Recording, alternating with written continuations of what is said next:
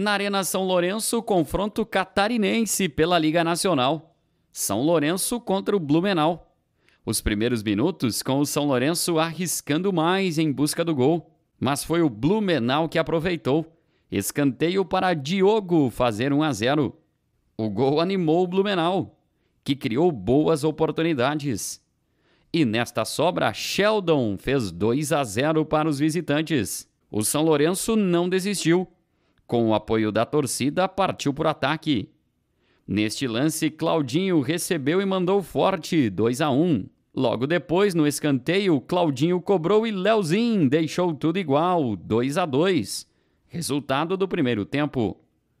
O Blumenau voltou com tudo para a segunda etapa. Foram várias chances para fazer o terceiro, porém faltou capricho na finalização. O São Lourenço, por outro lado, cresceu nos minutos finais e, após uma expulsão do Blumenau, conseguiu o gol da vitória. Claudinho recebeu e mandou forte 3 a 2. Final de jogo: São Lourenço 3, Blumenau 2. A segunda vitória do São Lourenço na Liga Nacional.